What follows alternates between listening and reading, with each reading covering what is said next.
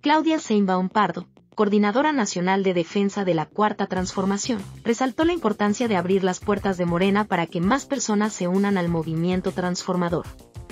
En su discurso durante la firma del Acuerdo de Unidad en Culiacán, Sinaloa, enfatizó que la unión fortalecerá la lucha por los derechos y el bienestar del pueblo de México.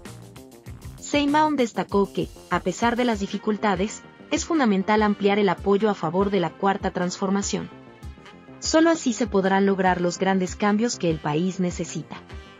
Hizo un llamado a todas las personas de buena voluntad, sin importar su profesión, oficio, religión o afiliación política, a sumarse a las causas y principios de Morena.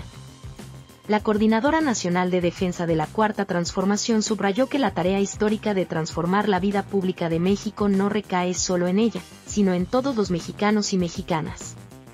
Para lograrlo, es necesario trabajar en conjunto y buscar una mayoría calificada que permita realizar los cambios necesarios en la Constitución. Seymour mencionó algunos de los objetivos de la Cuarta Transformación, como reformar la Suprema Corte de Justicia y elegir a los ministros y consejeros electorales por votación popular. Estos cambios buscan fortalecer la democracia y garantizar una justicia imparcial. En su discurso, Seymour reafirmó el compromiso de Morena de no traicionar los principios de no robar, no mentir y no traicionar al pueblo de México. Solicitó paciencia y confianza a quienes ya forman parte de la transformación desde sus orígenes.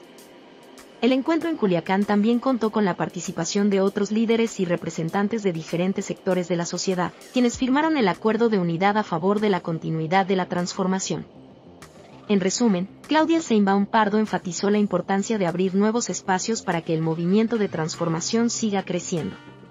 Su discurso resaltó la necesidad de la unión y el compromiso de trabajar juntos por un México con más democracia, justicia y participación ciudadana.